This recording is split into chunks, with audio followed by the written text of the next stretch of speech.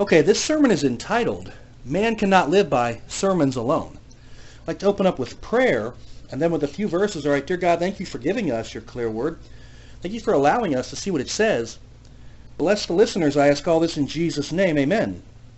Psalm 99 reads, The Lord reigneth, let the people tremble. He sitteth between the cherubims, let the earth be removed, or be moved.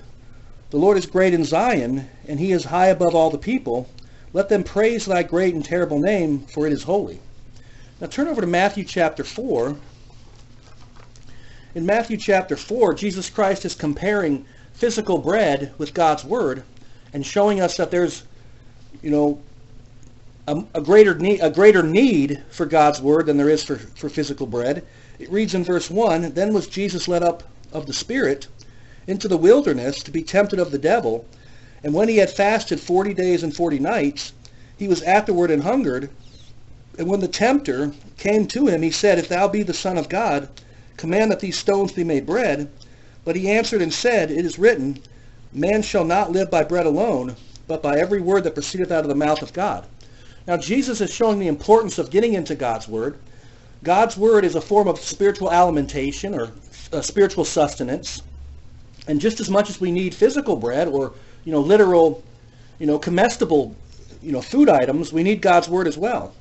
Now, the reason why I'm preaching this is because I understand that sermons can be conducive in spiritual growth in that they're supposed to be chock-a-block with God's word, and you can get a lot of God's word as you listen to sermons.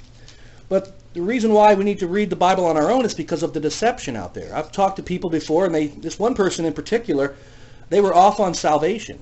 And they told me that they don't read the Bible, ever. I said, well, you need to get into the Word. And what they said was, well, I do listen to sermons online. And then they said it, they, were, they were listening to Paul Washer, stupid, unsaved Paul Washer, false prophet. And, and then I put the connection together as to why this person was mixed up. They're listening to a bunch of garbage. And that's why it behooves us to start reading the Bible on our own so that the Holy Spirit can speak to us directly and, and reveal what, what God's Word is actually saying. Now turn over to 1 Peter chapter 2 like I said, I'm not down on sermons, or I, I, mean, I wouldn't even be putting this sermon up if that were the case. I just think we should, you know, we should do both.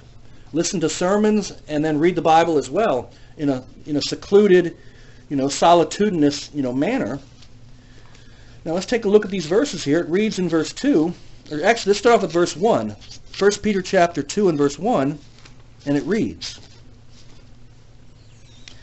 It says, Wherefore, laying aside all malice and all guile, and hypocrisies, and envies, and all evil speakings, as newborn babes, desire the sincere milk of the word that you may grow thereby. If so, be ye, be ye have tasted that the Lord is gracious. So what the Bible's telling us here is that we are supposed to desire God's word. We are supposed to find it palatable. And then as we desire it, we're supposed to, you know, consume it.